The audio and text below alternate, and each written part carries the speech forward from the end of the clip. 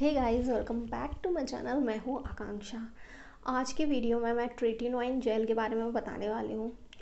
बहुत टाइम हो गया। पहले मैं सिर्फ़ tretinoin retino A gel use करती थी। बहुत अच्छे से मेरी स्किन पे काम करती थी। मैंने बहुत सालों तक इसको यूज़ किया। फिर मैंने इसको यूज़ करना बंद कर दिया। आ, क्योंकि मुझे लगा यार बहुत टाइम से यूज़ कर रही हूँ। कुछ और भी चीज़ें ट्राई करना चाहिए।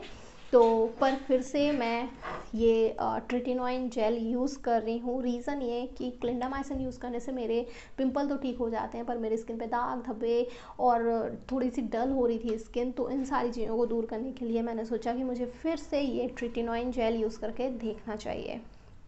ये जो ट्रिटिनोइन है, ये रेटिनो ए नाम से आता है और ये ए रेड जेल है। और बहुत सारे परसेंटेज के साथ आता है। मतलब ये पॉइंट ज़ीरो फाइव परसेंटेज है इसमें। ट्रिटिनोइन एक पॉइंट टू फाइव परसेंट में आता है, एक वन परसेंट टू परसेंट में आता है। बिगनर है तो पॉइंट टू फाइव परसेंट से आपको स्टार्ट करना है। मैं point zero five percentage tretinoin का यूज़ कर रही हूँ। ये जो ट्रिटिनोइन होता है, ये विटामिन ए का डेरिवेटिव होता है। विटामिन ए स्किन के लिए बहुत ज़्यादा अच्छा होता है। बहुत ही कम ऐसे इंग्रेडिएंट्स होते हैं जो स्किन की मल्टीपल प्रॉब्लम्स को सॉल्व करते हैं, ये उनमें से एक है। बहुत सारे जो फेशियल एसिड्स होते हैं, उनको मैं यूज़ कर चुकी हूँ, पर ये जो ट्रिटिनोइन होता है ना, ये मल्टीपल प्रॉब्लम्स पे काम करता है। ऐसा नहीं है सिर्फ़ ये पिंपल को दूर करेगा एक्ने को दूर करेगा, ये पिंपल एक्ने के साथ साथ दाग धब्बों पिगमेंटेशन पे फाइन लाइन रिंकल्स की प्रॉब्लम को भी दूर करता है।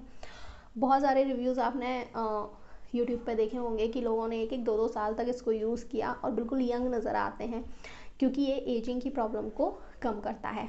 बात ये है कि इसको सही तरीके से अगर आप यूज़ करते हो ना तो इसके बहुत अच्छे रिजल्ट्स मिलेंगे। नहीं तो आपको इसके बहुत ही ख़राब रिजल्ट्स मिलेंगे अगर आप थोड़ी भी गलती करते हो इसको यूज़ करने में। तो अब बात करते हैं इसको यूज़ कैसे करना है। अगर आप 25 प्लस हैं तभी आप इसको यूज़ करो। नहीं तो उससे पहले आपको यूज़ करने की ज़रूरत नहीं है क्योंकि ये एजिंग की प्रॉब्लम को भी ठीक करता है। तो ट्वेंटी फाइव प्लस को तो ये यूज़ करना ही करना है। आ, क्योंकि ये जब आपकी स्किन को ठीक करेगा तो स्किन को पील करना शुरू करता है।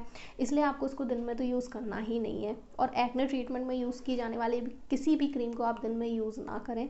फिर भी कुछ क्रीम्स होती हैं, उनको, उनके ऊपर सनस्क्रीन लगा के आप यूज़ कर लेते हो, पर इसको तो ऊपर सनस्क्रीन लगा के भी यूज़ नहीं करना है। इसको सिर्फ़ नाइट में यूज़ करना है। दिन में कुछ भी हो जाए सनस्क्रीन यूज़ करना ही है, जब आप इसको यूज़ कर रहे हैं। नहीं तो गंदी तरीके से आपकी स्किन डैमेज हो जाएगी। नाइट में आपको एक पतली सी लेयर अपनी स्किन पे इसकी लगा लेनी है और अंडर आई एरिया नोज़ के पास जो सेंसिटिव स्किन होती है वहाँ पर आपको इसको यूज़ नहीं करना है क्योंकि ये पील करता है हो सकता है नोज़ के आसपास या ये चिन के आसपास आपकी स्किन रेड होने लगे क्योंकि मैं लगाती थी पहले इधर पूरे पे लगा लेती थी तो इधर इधर मुझे रेडनेस होने लगी। फिर मैं इसको सिर्फ़ आ, ये सारे एरियाज़ छोड़ के बाकी सारे फेस पे इसको लगाती हूँ। स्टार्टिंग में आपको एवरीडे इसको यूज़ नहीं करना है। सिर्फ़ आप वीक में दो बार यूज़ करो, इसके बाद ऑल्टरनेट डेज़ पे यूज़ करना शुरू करो। तो कुछ इस तरह से आपको धीरे धीरे अपना टाइमिंग बढ़ाती जानी है और जैसे जैसे टाइम होता जाएगा, आप इसका परसेंटेज भी बढ़ा सकते हो। पर अगर आप पहली बार लगाना शुरू कर रहे हो तो वीक में दो बार लगाओ।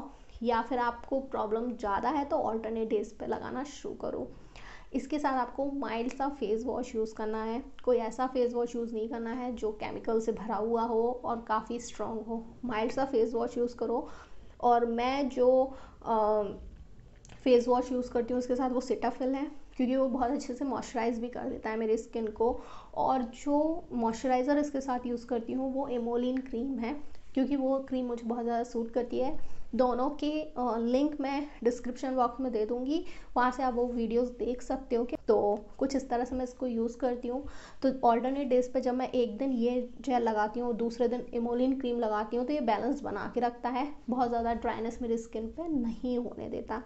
ये सिर्फ़ ऑयली और एक्ने प्रोन स्किन के लिए है। ऑयली स्किन के लिए है। अगर आपको बहुत ज़्यादा, बहुत ही ज़्यादा ड्राइनेस रहती है स्किन पे, तब आप इसको यूज़ ना करें। नॉर्मल ड्राई स्किन है तो आप बिल्कुल इसको यूज़ कर सकते हैं। इसके साथ आप कोई अच्छा सा मॉइस्चराइज़र यूज़ करें तब ये अच्छे से काम करेगा। कौन कौन इसको यूज़ करता है, कर सकता है? तो आपको एक्ने है पिंपल है ब्लैक हेड्स वाइट हेड्स आपकी स्किन से ग्लो चला गया है। आपको एजिंग का प्रॉब्लम है फाइन लाइन्स रिंकल्स का प्रॉब्लम है स्पॉट्स हैं चेहरे पे ब्राउन स्पॉट्स हैं, उन सारे केसेस में आप इसको बिल्कुल यूज़ कर सकते हैं और बिल्कुल आपको इसको यूज़ करना चाहिए, अपने स्किन केयर रूटीन में इंक्लूड बिल्कुल इसको करना चाहिए। बहुत सारे फॉर्म्स में आता है जेल्स में आता है क्रीम्स में आता है, आजकल सीरम्स वगैरह में भी आने लगा है। पर मैं कहूँगी कि आप जेल यूज़ करो मेडिकेटेड जेल यूज़ करो, क्योंकि ये काफ़ी अफोर्डेबल भी होते हैं और बहुत ज़्यादा इफ़ेक्टिव भी होते हैं। मैं अभी इसको वन मंथ हो गया है, मैं इसको रेगुलर यूज़ कर रही हूँ। रेगुलर मतलब ऑल्टरनेट डेज़ पे इसको यूज़ कर रही हूँ। बहुत सारे लोग इसको यूज़ करने से डरते हैं और उनको अच्छे रिजल्ट्स इसलिए नहीं मिलते इसके, क्योंकि ये जो जेल है, ये क्या करता है, जब आप इसको लगाना शुरू करोगे ना तो स्टार्टिंग में बहुत ज़्यादा आपकी प्रॉब्लम्स को बढ़ा देगा मतलब आपके फेस को गंदा कर देगा। मतलब दस दिन तक तो आपके पिंपल्स वगैरह और ज़्यादा नज़र आने लगेंगे तो ये कुछ इस तरह से काम करता है। पर धीरे धीरे आपकी स्किन पर सेट हो जाएगा और आपको असर दिखाई देने लगेगा। पर जैसे ही आप इसको लगाओगे ना तो वन वीक तक आपको ऐसा लगेगा कि यार, ये तो और ज़्यादा स्किन को डैमेज कर रहा है। मतलब पिंपल नज़र आने लगे और ड्राइनेस होने लगी।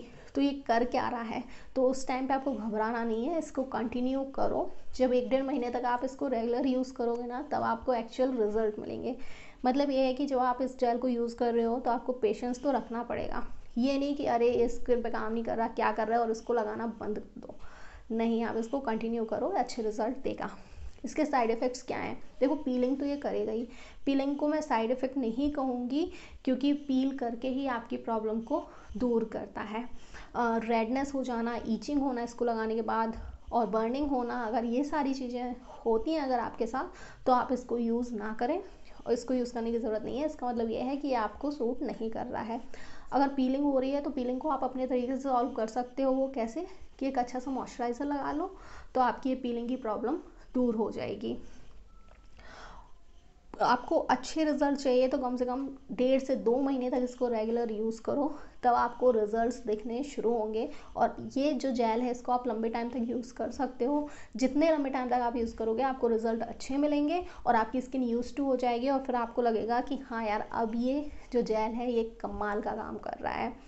तो कुछ इस तरह से ये काम करता है। लंबे टाइम तक यूज़ करो, तब आपको समझ आएगा। एकदम से इसके इंस्टेंट रिज़ल्ट नहीं मिलेंगे। ऐसा नहीं है कि एक नाइट में आपकी प्रॉब्लम्स दूर हो जाए।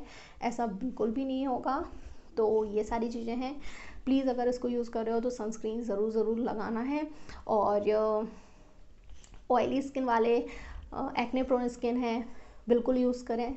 और ड्राई स्किन है कॉम्बिनेशन स्किन है, वो यूज़ कर सकते हैं। अगर आपकी एक्सट्रीम ड्राई स्किन है, आपको स्किन पे कोई चोट वगैरह लगी हुई है, कोई प्रॉब्लम है या फिर सेंसिटिव स्किन है, तब आप इसको बिल्कुल भी यूज़ ना करें। ये आपके लिए नहीं है, आपकी प्रॉब्लम को बढ़ा देगी। तो बिल्कुल आपको इसको तब यूज़ करने की ज़रूरत नहीं है। या तब भी आप यूज़ करना चाहते हैं तो किसी डॉक्टर से कंसल्ट कर लीजिए, फिर आप इसको यूज़ कीजिए। ये रेटिनो ए नाम से भी आती है। ये इरेट जेल है। इसका मैं लिंक डिस्क्रिप्शन बॉक्स में दे दूँगी। आप वहाँ से इसको परचेज़ कर सकते हैं। इस प्रोडक्ट से रिलेटेड और कोई क्वेरी है तो आप कमेंट करके पूछ सकते हैं। मैं उसका रिप्लाई ज़रूर करूँगी। तो ये था आज का वीडियो और आई थिंक मैंने ट्रेटिनोइन से रिलेटेड सारी चीज़ें कवर कर दी हैं। कोई भी कन्फ्यूज़न हो, बिल्कुल आप कमेंट करके मुझसे पूछ सकते हो। आई होप आज का ये वीडियो आपको पसंद आया होगा। पसंद आया तो जल्दी से लाइक सब्सक्राइब शेयर कर दीजिए। अब मिलेंगे नेक्स्ट वीडियो में तक लिए बाय बाय